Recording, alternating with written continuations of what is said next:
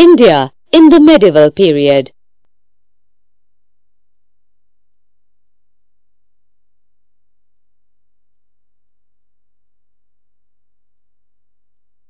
Periodization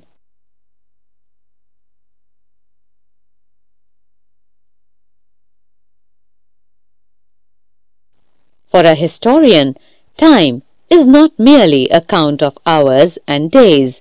Rather, it reflects socio-economic changes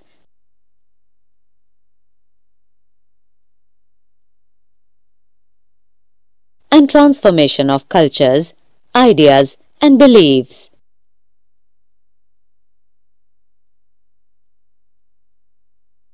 The study of history has long been carried out under three different labels or periods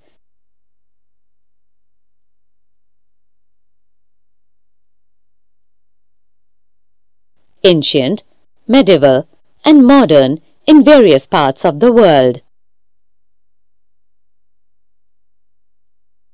However, in the Indian history, such a division could come up only after independence from the British rule.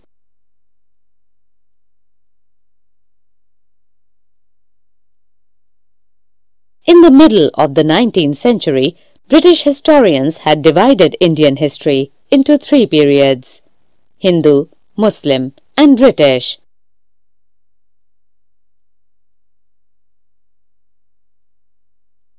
This division was based on the idea that the religion of the rulers determined the history.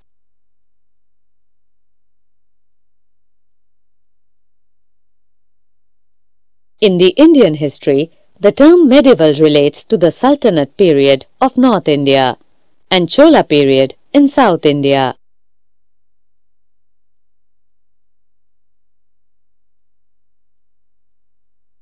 For the sake of convenience and better understanding of the changes in society, economy, politics, religion and culture during these centuries, the medieval period is further subdivided into early medieval and late medieval period.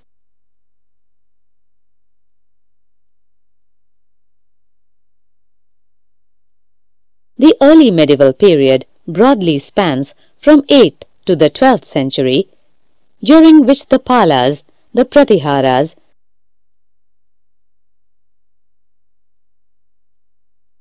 the Rashtrakutas, the Cholas and the early Rajputs dominated the political, socio-economic and cultural patterns.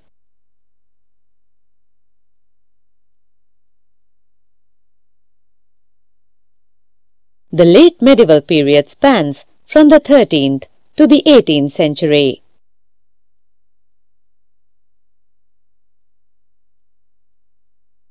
The Turks who later established the Delhi Sultanate, various regional kingdoms which emerged on the ruins of the Delhi Sultanate